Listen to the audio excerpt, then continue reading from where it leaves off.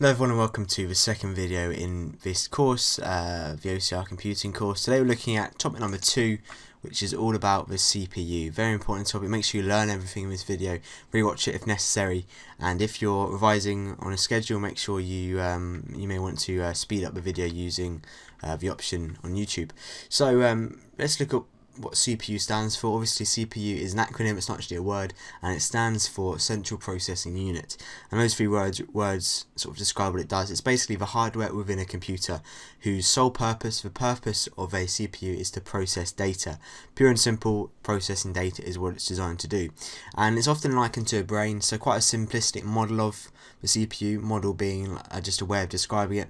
A simplistic model of a CPU is as the brain, so if you look at all the components in a computer and match them up to a, um, a human body part, the brain is the most likely one for the CPU because it sort of it controls what goes on in the computer, but it does this by processing data and instructions.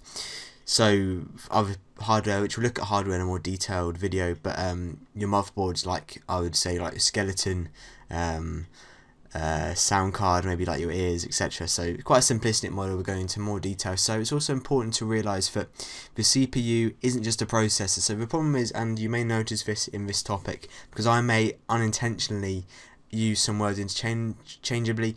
Um, definitions such as CPU and processor and um, words such as these, they are quite ambiguous, ambiguous meaning that have got lots of meanings, because these words were sort of coined um, in the latter half of the, the 20th century, and as technology has developed, as computer scientists have sort of understood things more as, as things get more complex, um, the definitions have changed and they've got more refined, but that still means that um, they're not they're not watertight. Um, a lot of things in computer science and computing um, aren't watertight. They have lots of meanings. People, different people say different things for each each um, word. So that's that's actually an advantage for the student because examiners may be slightly more lenient with how you use your technical terms. Um, so yeah, the CPU, you can almost think of it as a CPU being a unit and it contains a processor. In fact, it contains lots of different types of um, I won't go into it, but it contains lots of different sort of blocks that do certain things. So you've also got something called cache, which we'll look at in the next couple of slides. Um, so it's not just a processor, it's several um, things rolled into one. And for processing data, so its sole function relies on three operations that it can conduct. So the first one is, and it, by the way, this works in a cycle. People may describe it as a processing cycle. Um, the first one being fetching. So firstly, um, whenever it receives a request for something, so for example, if I, on my desktop, I've got a Microsoft Word um, shortcut. If I double click that, um, the CPU will register this and it will go and search and look for the instruction that's been saved in the memory. Important to realise that it does interact with the memory here. So it will go and find this instruction stored in the memory and then it will have to decode the instruction that it finds. Um, decoding meaning that it sort of sorts them into parts. So often when you in an exam get a complex problem you often in your mind or maybe even physically you split it up into different parts meaning that it's actually simpler to work out. So for example a complex instruction maybe not so much opening a word document um, it will sort of split it up into these different blocks in the CPU so each block is sort of designed to do a specific function and it will um, yeah, it will split it up and each one will sort of work on it. Then it executes it. Executing in computer science means to run, doesn't mean anything more sinister, just means to run something. Um, so the final stage is to execute it. All the um, different um, decoded parts will go together and the instruction will be processed, it will be run.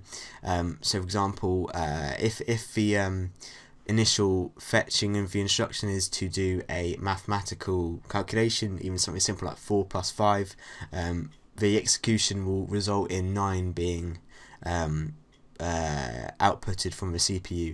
If this makes sense, if it doesn't make sense, uh, go over it. Um, yeah, some of it's a bit difficult to explain, so maybe read over it. But um, this is actually what a CPU looks like um, in a computer. Often it'll be it'll be sat on the motherboard. It'll have a large heat sink on it usually to cover it up because it gets quite hot. Um, so yeah, it'll comprise of these different units. Um, okay, so I've just written a few points just to make sure that I don't miss over anything. It's important to appreciate that the CPU does actually interact with other items in the computer, such as the memory. Like I mentioned before, it um, uh, what, was the word I used? Uh, fetches. yeah, mind blank there. It fetches um, instructions from the memory, so it does interact with other um, hardware within the computer. We'll look at memory in more detail later, but um, yeah. So this this means that the CPU is actually not necessarily the only processor in the computer.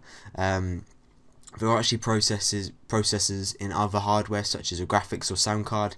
Um, again, we'll look at those in more detail later, but um, those processor cores in the graphics and sound cards um, focus on those specific roles. They don't necessarily interact with other hardware as much as the CPU does. The CPU is literally um, the integral part of that computer. It's the middle of everything. You can look at it that way, hence the central um, nature in its name.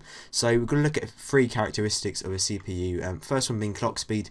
So the clock speed of a CPU is um, uh, yeah, so um, the CPU does need a certain amount of cycles to execute instructions. So for each instruction in to for each instruction and get my words out, um, a certain amount of cycles need to be completed.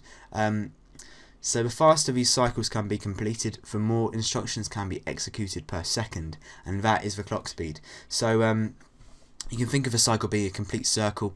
You don't necessarily need to know what a cycle is. It literally just means um, yeah, I, I, probably won't go into what a cycle is. It's a bit more complicated. Um, you just need to know that the clock speed is however many cycles um, can be completed per second. Usually measured in gigahertz. And that's also an important um, thing to realise. They also are measured in gigahertz nowadays um, because because processors are so fast. So um, a little more of a, a, visual example of what I mean here. So um, if you have two two processors. One's got a fast clock speed. The top one here's got a fast clock speed. The bottom's got a slow clock speed. Um, the instruction going from A to B will be completed faster with a faster clock speed. Sort of common sense, so this obviously results in a higher clock speed, meaning that a greater amount of performance because a higher clock speed means that more uh, instructions can be executed per second, um, although this is on an individual instruction basis. So yeah, generally increased clock speed equals increased performance. So we also need to look at um, another characteristic of a CPU and that is number of cores. So um, a, a, CPU can have multiple processors called cores. So you can think of a core being a processor. Um, like I say, a, a, processor makes up a CPU. A CPU isn't a mm, CPU sort of isn't a processor. So um, here's sort of a diagram. So if this is a uh, a microprocessor, microprocessor just means it's all on one chip. Um, this little green box is a microprocessor. You've got four cores here, and they each um, are separate but they interact together to form the CPU. And basically these cores allow multiple instructions to be executed simultaneously. So instead of running one instruction at a time, each core can run one instruction at a time, which means at any given time four cores can be ran in this case. If it's five cores, five cores uh, five instructions could be run. If it was two cores, two instructions could be run, um, which means that if a program is optimized for this parallel computing, um, basically some programs won't be able to um, make use of these four cores. They'll only work through one core. But some programs, um, such as a um, intensive video game or vid uh, video editing, editing editing software um, will often be designed so that these four cores can be all be used simultaneously, um, which means that more cores is better basically. More cores means an increase in performance um, for multiple instructions. Um, so to put this in context a bit, um, this is this is a question taken from a AQA paper actually, but it is it works with this specification. Um, so it, it asks you basically to explain which computer will run instructions quicker um, a quad-core processor with a clock speed of 2 GHz or a single-core processor with a clock speed of 4.1 GHz. So um, the uh, answers I came up with for this, um, you can say either actually, quite crucially, you could say either. I would tend to say B PCB, um, but PCA you could say because it's got four cores, um, meaning quad core is obviously four. It's got four cores which allow four instructions to be executed at the same time. That's all you really need to say to get these three marks. Um, these four cores allow four instructions to be executed simultaneously. Or you could say PCB, and I would generally, if I was in the exam, I'd write PCB. Um, this is because not all programs can handle these parallel computations. Not every program will be able to do this, so um, instructions won't be run as quickly for some programs. Um, and the clock speed of B is higher than A, meaning that as each instruction can be processed more than twice as quickly. You can see this clock speed is twice as big as this one, um, so each instruction will be processed twice as quickly. I put some context a bit. Um, quite simple uh, sort of questions you get on this topic, but um, important to understand. So um, the CPU cache. This is a slightly um, harder topic because you may not have heard of cache before. Uh, cache, and you can see I, I, I, pronounce it cache, that's how you should pronounce it. I always used to start off by calling it cache. That's not how you pronounce it. It sounds a bit stupid if you say cache. It's actually cache.